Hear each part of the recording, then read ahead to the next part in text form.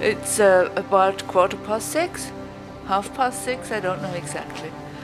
A polar bear was outside and we came out and he swam around the ship and looked at us like uh, he wants to see what are you doing here.